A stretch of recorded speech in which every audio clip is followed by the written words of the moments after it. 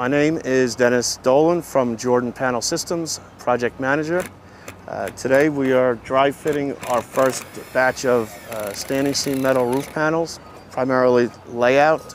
From here we're going to dry fit approximately 10 to 15 panels uh, to ensure that the panel length and taper are correct. It's a long panel. The panels are uh, over 80 foot in length.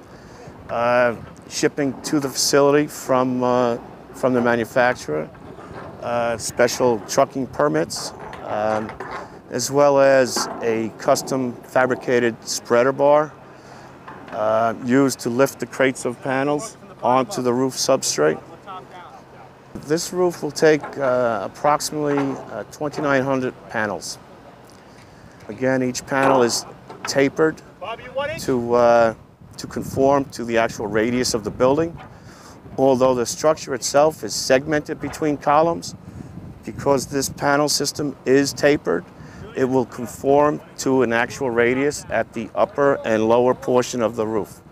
The substrate uh, buildup on the roof system is comprised of a steel metal deck, followed by gypsum sheathing, followed by a vapor barrier, followed by a four inch overall nail board polyisocyanurate insulation, followed by a titanium underlayment, which is slip resistant as well as long-term UV protected.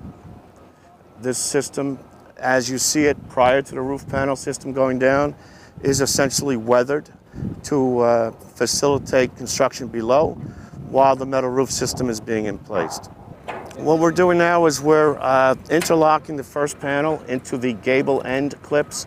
Uh, happens to be located at a building expansion joint. These clips are spaced 24 inches on center as prescribed. Again, this is the first panel of a series of panels which will be installed in sequence uh, following the first panel.